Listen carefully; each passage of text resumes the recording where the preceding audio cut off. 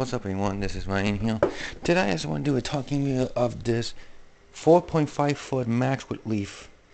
Now as you can see, um, I love this thing, but they have a version that has one that has the antlers and this one has the present, but this one, so you can see it's it looks kind of nice you can see, but I mean, just look at this box right here, it looks the boxes actually look good. You shave it. There was a 65 version had the Grinch Stole Christmas, which of course, and it cost like 35 dollars, which um, it's outrageous though because if you just like look at the back, it is Gemmy, no, believe it or not, and you can see his definitely looks kind of nice.